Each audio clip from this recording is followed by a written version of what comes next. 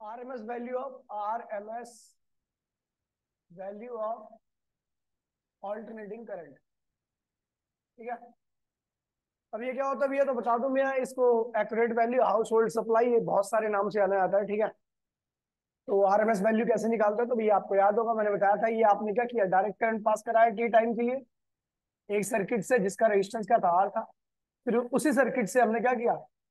उतने ही टाइम के लिए ऑल्टरनेटिंग करंट पास कराया सर्किट सेम था तो रेजिस्टेंस वही था ऊपर नीचे का इस केस में जो हीट निकली वो निकली एच और इस केस की जो हीट निकली एचएसी अगर इस एच बराबर में एचडीसी तो आपको पता है यहाँ पर जो पर सेकंड हीट निकल रही है यहाँ पर जो पर पहले केस में इस केस में जो पर सेकंड हीट निकलेगी वो फिक्स रहेगी हमेशा।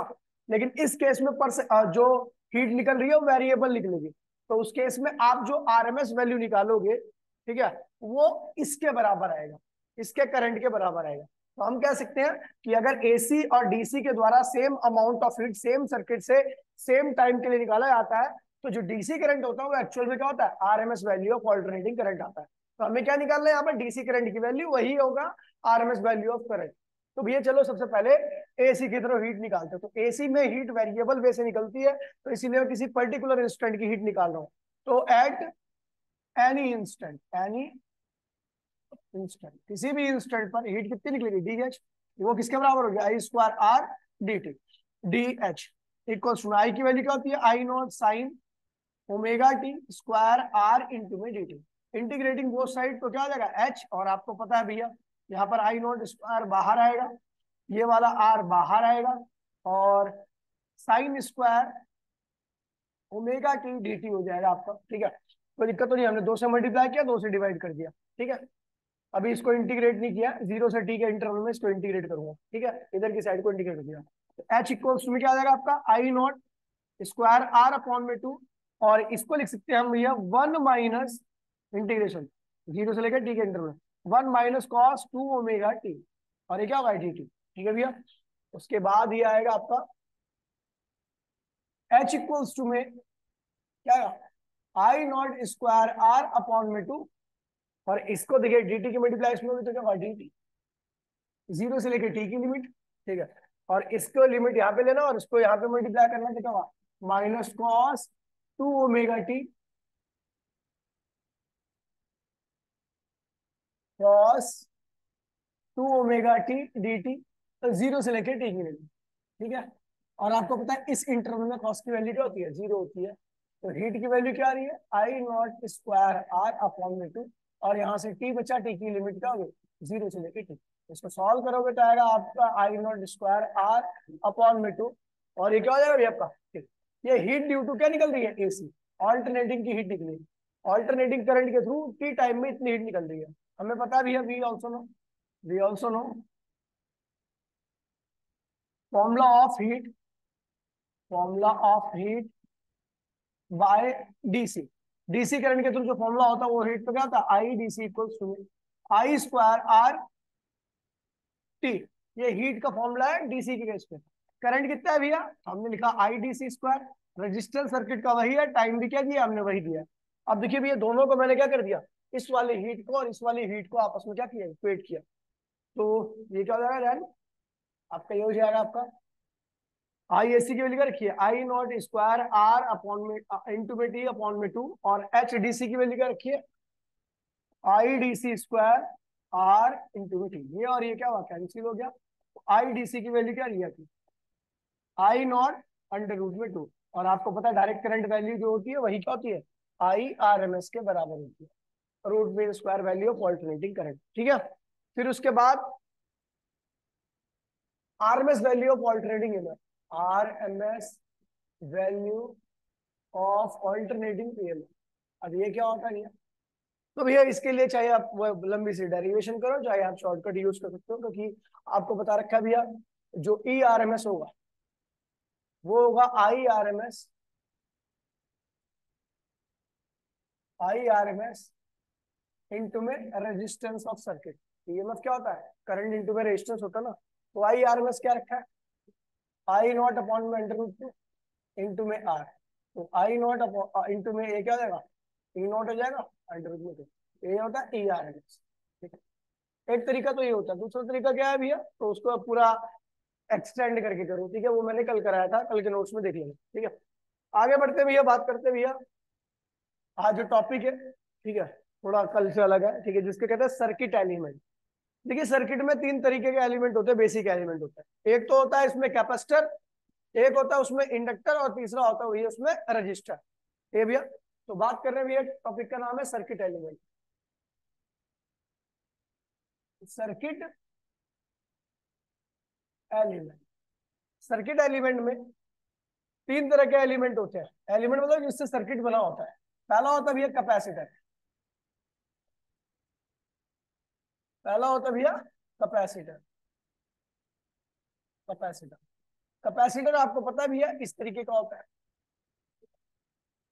आपको सर्किट में जो लगा होता है वो इस टाइप का स्पेरिकल कैपेसिटर होता है या बहुत सारे शेप के कैपेसिटर होते हैं। पहला एलिमेंट ही होता है। दूसरा एलिमेंट का नाम है भैया आपका इंडक्टर क्या होता है? इंडक्टर ठीक है? अब इसका काम तो आपको पता ही है इंडक्टर का काम कर, क्या करता है भैया? फ्लक्स के चेंज को अपोज करना फ्लक्स के चेंज को अपोज करना। तो इसका जो सिंबल होता है वो भी आपका नॉर्मली या तो ऐसे बना देते हैं।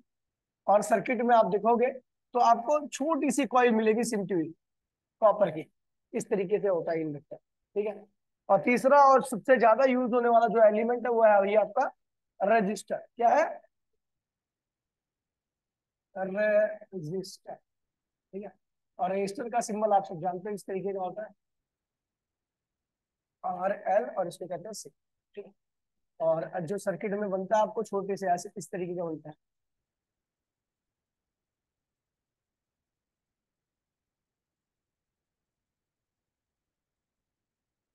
ऐसा लगा था सर्किट में प्लेट में, है ना मदरबोर्ड पे? और इसमें बहुत सारे कलर होते हैं। ये कलर हो सकता है अच्छा ये कलर हो सकता है। ठीक है। इस तरीके के कलर होते हैं, उस पर कलर कोडिंग होती है तो कितना छोटा होता है, इस पर रजिस्टर हम लिख नहीं सकते। तो इस पर कलर कोडिंग कर देते हैं अलग अलग कलर अलग अलग नंबर को डिनोट करता है, उसके बाद हम उसको सॉल्व करके एक्चुअल वैल्यू निकाल अरे, पाँच भी होता है। पाँच भी होते हैं, दस दस वाला भी होता है, लेकिन तुम्हारे लेवल पे कम दिया ठीक है? ये रजिस्टर है। ठीक है भैया? ये तीन सर्किट एलिमेंट है। अब हमें करना क्या है यहाँ पर? तो भैया एसी सर्किट में पहले हम क्या लगाएँगे? रजिस्टर पूरा रजिस्टर वाले ही पढ़ेंगे फिर हम यही सर्किट में लगाएँगे केवल कैपेसिटर पूरा कैपेसिटर वाले ही पढ़ेंगे फिर यही सर्किट में लगाएँगे हम पूरा इंडक्टर पूरा यही सर्किट फिर उसके बाद सबको कंबाइन करेंगे। बहुत इंपोर्टेंट टॉपिक है। ठीक है भैया? तो आप देखिए टॉपिक का नाम क्या है भैया? AC circuit with capacitor only क्या है? AC circuit with capacitor only resistor only कर लेते, हैं ना? AC circuit with resistor resistor सबसे ज़्यादा पढ़ा ना तो पहले रजिस्टर देख लेते। देखिए, करना क्या है इसमें? हमें एसी सर्किट पढ़ना है, जिसमें केवल क्या भैया? रजिस्टर क्या हो? वैसे ऐसा नहीं होता, कोई भी सर्किट होता है, उसको केवल रजिस्टर हो, ऐसा पॉसिबल नहीं है।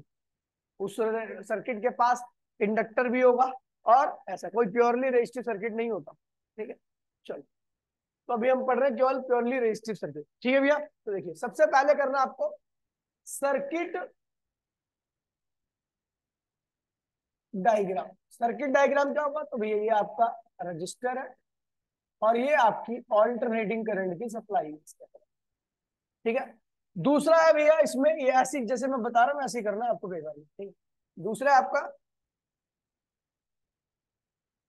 अप्लाइड ईएमएफ क्या करना भैया? अप्लाइड ईएमएफ तो अप्लाइड ईएमएफ यहाँ पे होगा इक्वल्स टू में E naught sine omega t क्या है? इक्वल्स टू में E naught sine omega t भी ध्यान रखना भैया। फिर उसके बाद है अपना कैलकुलेशन फॉर करंट तीसरा क्या है आपका? कैलकुलेशन फॉर करंट तो करंट के लिए हम क्या करेंगे? कैलकुलेशन तीसरा। कैलकुलेशन फॉर करंट करंट के लिए हम क्या करेंगे? कैलकुलेशन तो करंट क्या होता है? ईएमएफ अपॉन में अपोजिशन क्या कहते हैं भैया? ईएमएफ अपॉन में अपोजिशन लिखते हैं। अपोजिशन ठीक है? तो भैया ईएमएफ कितना भैया? E naught sine omega t और अपोजिशन क्या होती है भैया? आपको रजिस्टर सर्किट में रेजिस्टेंस होता है। रजिस्टर सर्किट में रेजिस्टेंस ही खुद का है भैया अपोजिशन होता है। तो इसे क्या लिखेंगे? I equals to E naught upon में आर साइन ओमेगा टी ठीक है? मैंने कह दिया इफ़ यहाँ पर ये ध्यान रखना इफ़ यहाँ पर, इसका लिख रहा हूँ इसका। इफ़ साइन ओमेगा टी की वैल्यू एक हो जाए तो उस वक्त ईएमएफ क्या होगा? ई नॉट के बराबर रहेगा, इसे कहते हैं मैक्सिमम ईएमएफ क्या कहते हैं इसे? लेकिन अगर यहाँ पर देखिए इफ़ साइन ओमेगा टी यहाँ पर एक हो जाए तो देन क्या होगा? आई किसके बराबर होगा? आई नॉट के। और इसे कहते हैं भैया मैक्सिमम करंट क्या कहते हैं इसे? मैक्सिमम करंट तो मैक्सिमम करंट की वैल्यू ध्यान रखना क्या होता है भैया?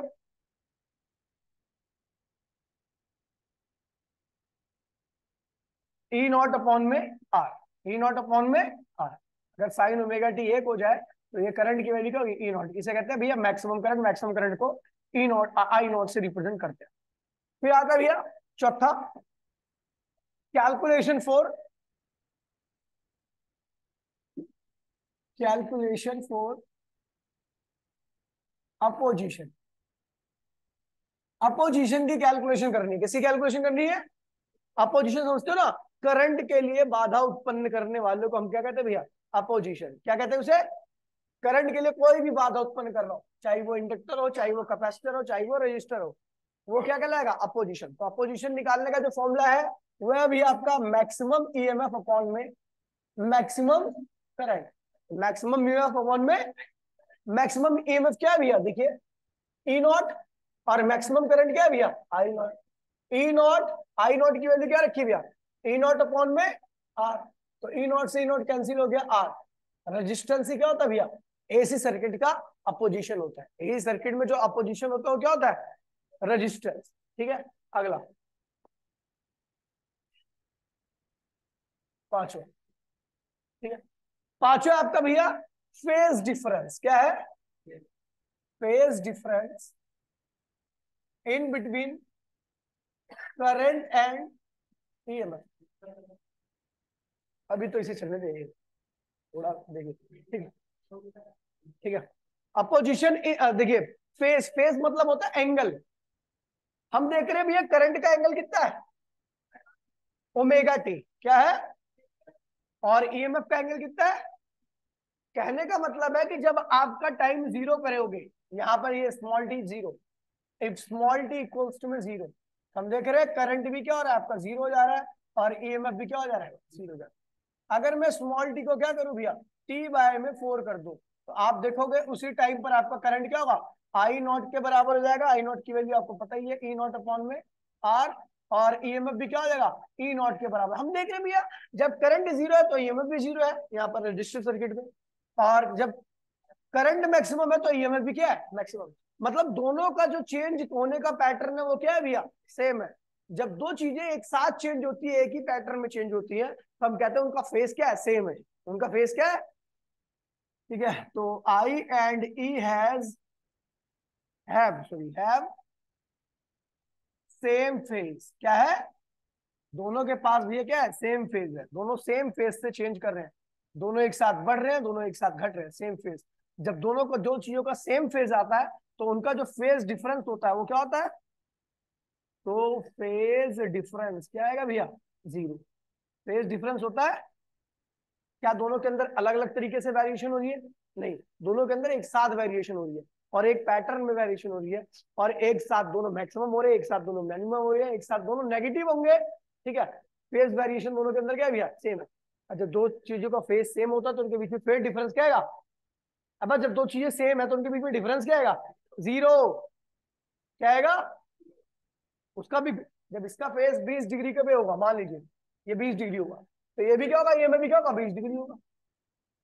ये 50 डिग्री हो तो भी क्या होगा? 50 डिग्री होगा। दोनों 50 डिग्री होगा एक साथ। तो फेस डिफरेंस की वैल्यू क्या आएगी भैया? रजिस्टिव सर्किट में करंट और रजिस्टर दोनों एक साथ चलते हैं एक साथ मैक्सिमम एक साथ मिनिमम एक साथ नेगेटिव सब कुछ। यानी इनके बीच में फेस डिफरेंस की वैल्यू क्या होती है? ज़ीरो अगला भी आपका।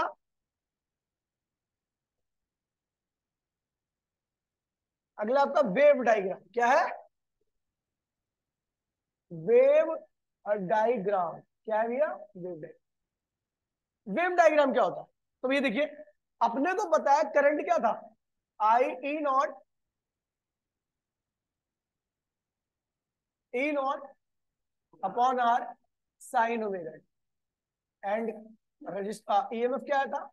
ई नॉट साइन ओमेगा हम देख रहे दोनों के साथ कौन लगा है? साइन लगा है। दोनों के साथ कौन लगा हुआ है?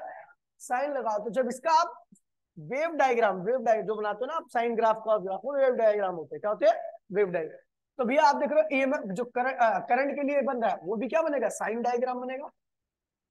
और जो ईएमएफ के लिए बन रहा है, वो भी क्या बनेगा भैया? ईएमएफ में भी क्या लगा हुआ है? साइन लगा हुआ है। तो इसके लिए भी साइन डायग्राम बनेगा। ठीक है? ठीक है? अब ये दिखा रहा है कि भैया जब करंट ज़ीरो था तो ईएमएफ भी ज़ीरो था। जब करंट मैक्सिमम हुआ तो ईएमएफ भी मैक्सिमम हुआ। जब करंट ज़ीरो हुआ तो फिर ईएमएफ ज़ीरो। जब करंट नेगेटिव तो ईएमएफ मैक्सिमम नेगेटिव समझ गए? ये दोनों के अंदर सेम वेरिएशन आ रही है। यहाँ पर बताता हूँ, ये जो है, वो ईएमएफ को रिप्रेजेंट कर रहा है। और ये दूसरा कलर कौन सा था? ये वाला कलर और ये था, वो करंट को रिप्रेजेंट कर रहा है। समझिए भैया? दोनों के अंदर वेरिएशन एक सेम होती है। अगला भैया फेस डायग्राम क्या है?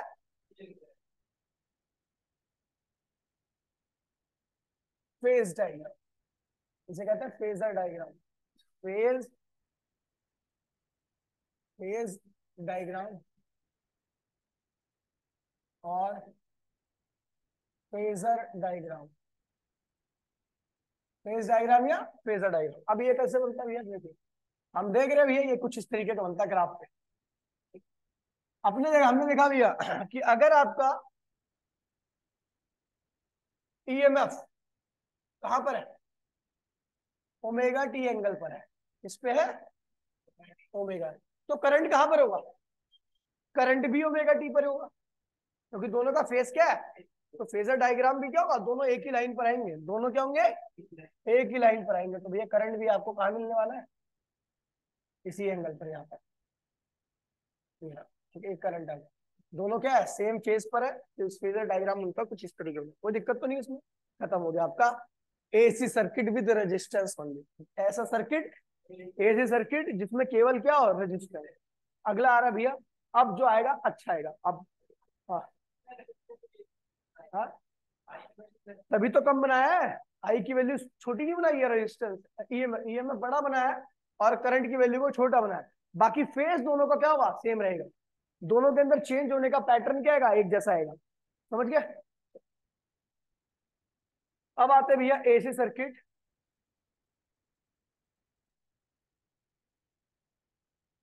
AC circuit with capacitor only AC circuit with capacitor only क्या है? एसी सर्किट है, इसमें केवल क्या है भैया? कैपेसिटर। ठीक है? पहले, सबसे पहले क्या बनाएँगे? सर्किट डायग्राम सर्किट डायग्राम ऐसा बनेगा?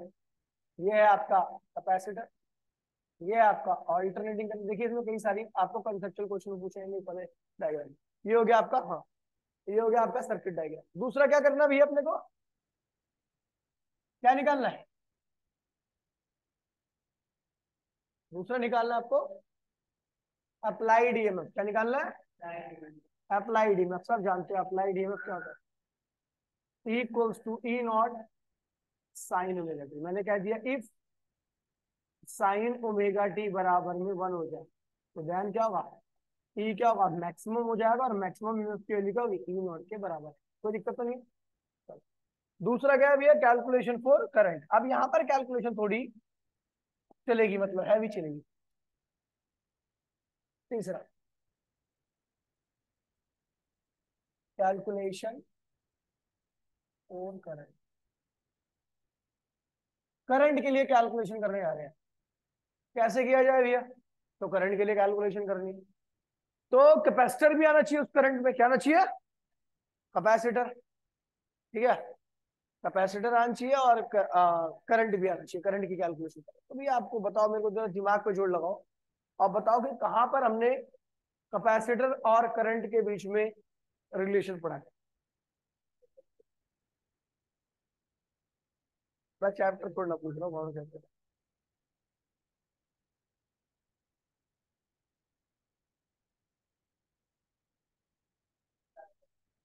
बताओ, एक ऐसा रिलेशन बताओ जहाँ पर हम्म?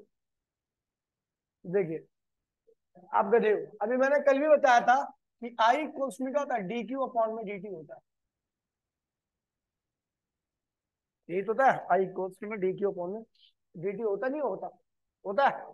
चलो, ठीक है। एक काम करते हैं, इसको लिख देते हैं हम। कोई और तरीका है एक मिनट। क्यू की वैल्यू क्या होती है भैया? क्यू होता है, वो जो होता है सी वी होता है। लेकिन हम यहाँ पर वी को नहीं वी नहीं यूज़ कर रहे, हम क्या कर रहे हैं? ई e यूज़ कर रहे हैं। सी ई वी जो है एक्चुअल में क्या? वी और ई e दोनों क्या भी आपके बराबर ही आपको पता ना? तो आई क्या हो जाएगा आपका? तो ये क्या होगा? सी ई e के बराबर क्या होगा? सी के बराबर। क्यू की वैल्यू हमने क्या लिख दी? सी ई अच्छा आई इक्वल्स में क्या हो जाएगा? डी अपॉन में डी टी सी ऐसी रहा ई की वैल्यू क्या होगी? E naught sine omega t कोई दिक्कत तो नहीं हुआ हो गया। ठीक है? उसके बाद आई इक्वल्स में क्या हो जाएगा? सी कांस्टेंट है ई e कांस्टेंट है। अंदर क्या होगा? डी अपॉन में डी टी और ये क्या होगा? साइन ओमेगा टी कोई दिक्कत तो नहीं है? चलो। उसके बाद आई इक्वल्स टू में सी ई नॉट अच्छा साइन का डिफरेंशिएशन क्या होता है? कॉस कॉस ओमेगा टी और उसके बाद चेन रूल लगाते हैं तो भैया देखिए डी अपॉन में डी टी ओमेगा टी को दोबारा से डिफ्रेंशिएट करते हैं। अगर केवल टी ओमेगा नहीं होता, केवल टी होता तो आपका कॉस की रिज़ल्ट आता। क्या होता? लेकिन आगे है तो इसलिए आगे भी होगा डिफ्रेंशिएशन अब यहाँ पर देखिए I equal to C E naught cos omega t और देखिए यहाँ पर ओमेगा बाहर आएगा तो फिर ओमेगा टर्म क्या है? कॉन्स्टेंट है। डी अपॉन में डी और डी अपॉन में डी क्या होता है? वन हो जाता है। तो आपका जो कर आई इक्वल्स टू में C E naught omega cos omega t आपका करंट आ गया। कोई दिक्कत तो नहीं भैया?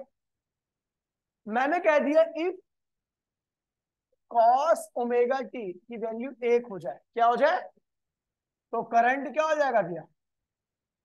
मैक्सिमम हो जाएगा। करंट क्या होगा? मैक्सिमम हो जाएगा। और उस मैक्सिमम करंट की वैल्यू क्या होगी? सी ई नॉट ओमेगा ध्यान रखना भैया, बहुत इंपॉर्टेंट है।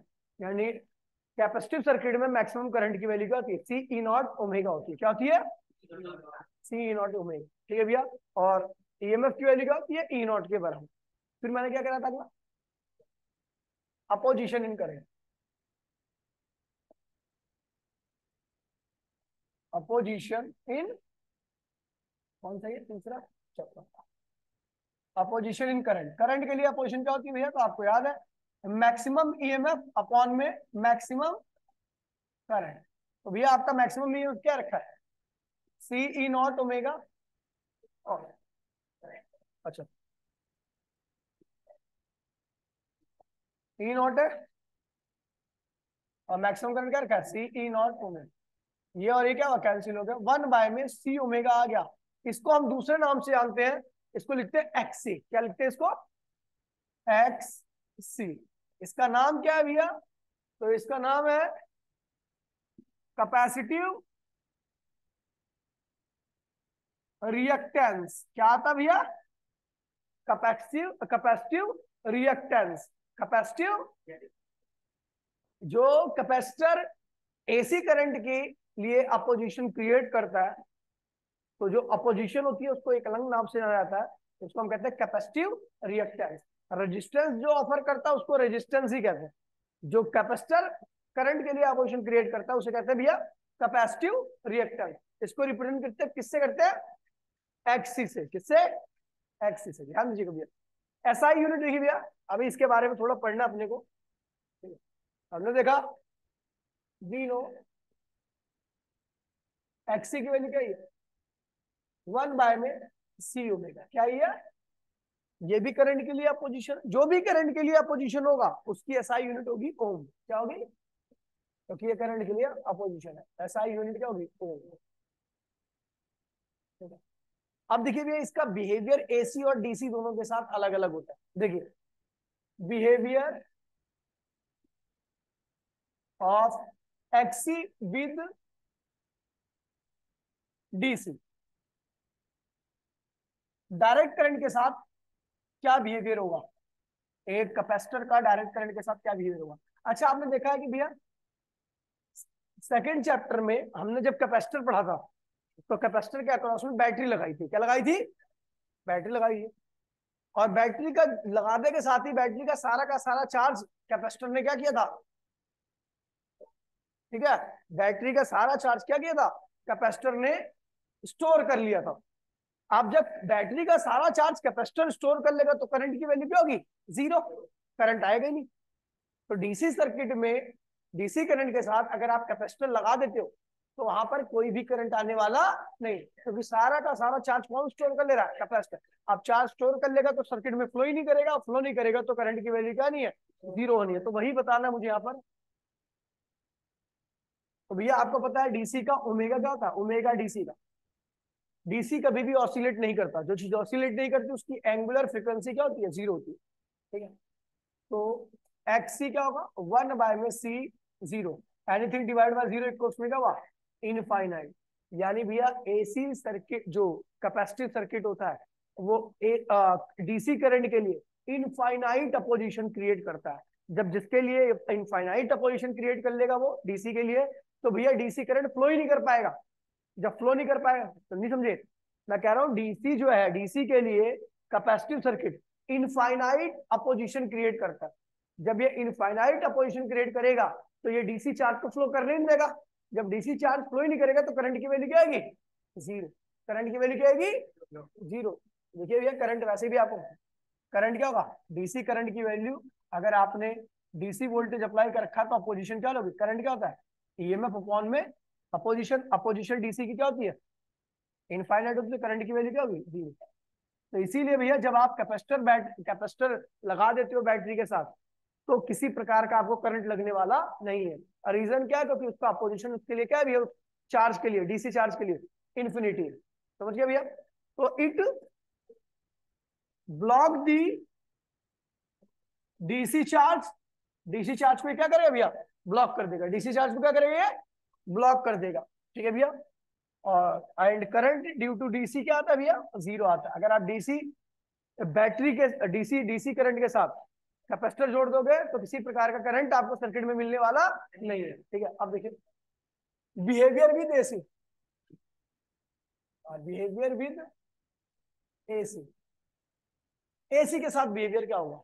तो भैया आपको बता दू एसी के पास एसी ऑसिलेट करता है, इसलिए उसको ओमेगा क्या होगा? ज़ीरो से काफ़ी ज़्यादा होगा। अब ओमेगा ज़्यादा होगा तो भैया आपको पता है एक्सी क्या होता है? ओमेगा के इनवर्सली होता है। एक्सी जो होगा, वो ओमेगा क्या होगा? इनवर्सली होगा। तो उसका ओमेगा ज़्यादा, ये ज़्यादा होगा। तो ये ज़्यादा है तो ओमेगा के इनवर्सली है सो एक्सी स्मॉल हो जाएगा। क्या हो जाएगा? Opposition for AC opposition for alternating current क्या होगी भैया? स्मॉल तो यानी अगर आप कैपेसिटिव सर्किट देखोगे तो कैपेसिटिव सर्किट में अगर आप एसी करंट अप्लाई कर रहे हो तो वो कैपेसिटिव सर्किट एसी के लिए किसी प्रकार की अपोजिशन क्रिएट करने वाला कम करेगा, बहुत कम करेगा। इसका मतलब अगर आप कैपेसिटर को कैपेसिटर को अगर आप कैपेसिटर को अगर आप एसी सर्किट में लगाते हो और छूते हो तो आपको भरपूर करंट लगेगा, क्योंकि उसका पोजीशन उसके लिए ही नहीं। वो किसको अपोज करता है केवल डीसी को? एसी को क्या करेगा भैया? तू आराम से फ्लो कर। ठीक है? कम करेगा मतलब? अगर जब अपोजिशन कम रहेगी तो करंट क्या रहेगा?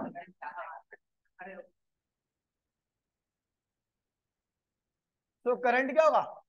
करंट क्या होगा? ईएमएफ अपॉन में अपोजिशन यही होता ना? तो अपोजिशन क्या है? स्मॉल है। क्या है? स्मॉल फॉर एसी तो करंट क्या होगा? लार्ज और इस केस में अगर आप छुओगे तो आपको भरपूर करंट लगने वाला है। ठीक है? समझिए तो ये ध्यान रखना। अब देखिए, अगला क्या भैया? Phase diagram. क्या भैया? Wave diagram. पहला वेव डायग्राम है। वेव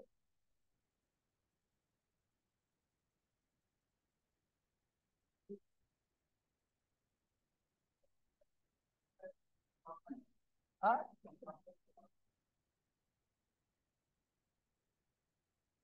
ये जो तू पंखे में लगा रखा है ना कैपेसिटर, उसको छुइयो कभी, निकाल करके। दबा के करंट मारेगा। डीसी का लगा लेगा स्टोर कर लेगा, उसके अंदर से फ्लो निकलेगा हाँ? अब डीसी में डीसी में आप चैप्टर नंबर टू पढ़ रहे थे। वो इलेक्ट्रोस्टैटिक था या करंट इलेक्ट्रिसिटी था? मतलब वहाँ पर करंट नहीं है ना? वहाँ पर क्या कर रहे थे? बैटरी के साथ क्या लगाते थे कैपेसिटर? सारा चार्ज कैपेसिटर स्टोर कर लेता था। तभी तो करंट नहीं लग रहा था। तभी तो इलेक्ट्रिसिटी नहीं थी इलेक्ट्रोस्टेट्स थी। चैप्टर नंबर सेकंड में आपने कैपेसिटर को बैटरी जोड़ा तो वहाँ पर इलेक्ट्रिसिटी नहीं बोला, आपने इलेक्ट्रोस्टेट्स बोला। मतलब वहाँ पर करंट नहीं आ रहा है। तभी तो आप इलेक्ट्रोस्टेट्स बोल रहे हो ना। केवल वहाँ पर चार्ज है। करंट नहीं है। समझ गया? हाँ। एक मिनट भाई, एक minute wave diagram wave diagram देखिए तो आपने देखा ईएमएफ क्या था? E naught sine omega t लगा था। एंड करंट क्या था? सी ई नॉट ओमेगा और कॉस ओमेगा टी ध्यान दीजिए भैया, हम देख रहे हैं इसके साथ क्या लगा हुआ के साथ? और उसी सर्किट में करंट के साथ क्या लग रहा है? कॉस तो भैया, अगर वेव डायग्राम आप बनाने जाओगे तो भैया देखिए यहाँ पर करंट का वेव डायग्राम किसको फॉलो करेगा? कॉस को कॉस यहाँ से स्टार्ट होगा। ठीक है? और ईएमएफ का वेव डायग्राम किसको सपोर्ट करेगा? हैं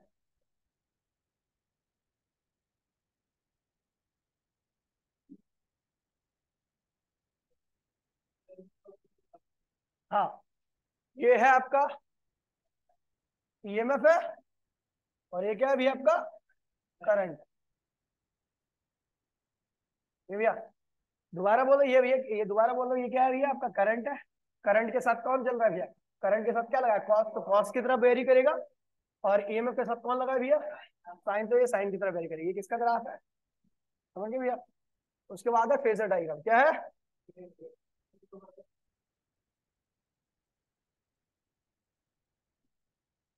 फेजर डायग्राम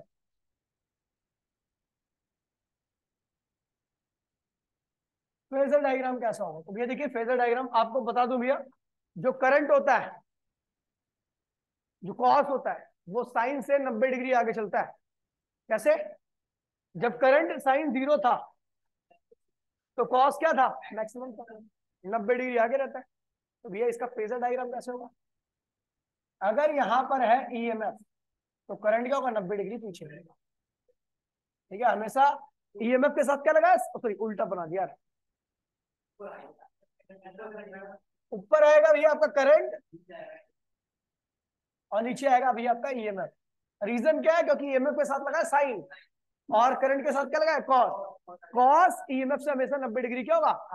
अगर ये ओमेगा टी एंगल पर है करंट तो ये कितना होगा? 90 डिग्री पीछे 90 डिग्री पीछे. ठीक है? अगर ये यहाँ पर है ईएमएफ तो करंट होगा यहाँ पर. ठीक है? नब्बे उल्टा बना दिया अगर करंट यहाँ पर होगा तो ईएमएफ क्या होगा? यहाँ पर होगा। ठीक है? अगर करंट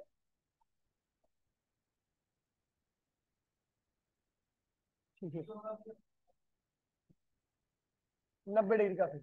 और अगर आपका ईएमएफ करंट यहाँ पर है तो ईएमएफ यहाँ पर रहेगा नब्बे डिग्री का फ़ेज़ रहेगा और हमेशा करंट क्या होगा? आगे रहेगा। ठीक है? समझ गए? तो ये आपका अब आएगा आपका इंडक्टिव सर्किट ओनली ठीक है भैया? वो अगली क्लास में कराऊँगा। हाँ?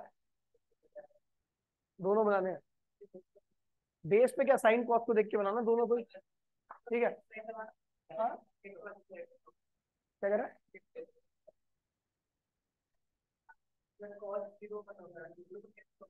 हाँ? अबे भाई, मैं कह रहा हूँ, अगर कॉस वन हो जाए, आप चाहे ज़ीरो पे हो, चाहे कहीं पर भी मेरे से क्या मतलब है? मैं केवल कॉस ओमेगा टी को वन ले रहा हूँ। तो वन होगा तो ये क्या होगा भैया? ये जैसी वन होगा तो ये क्या कह रहा है? अबे कॉस वन हो गया कॉस ओमेगा टी वन हो गया।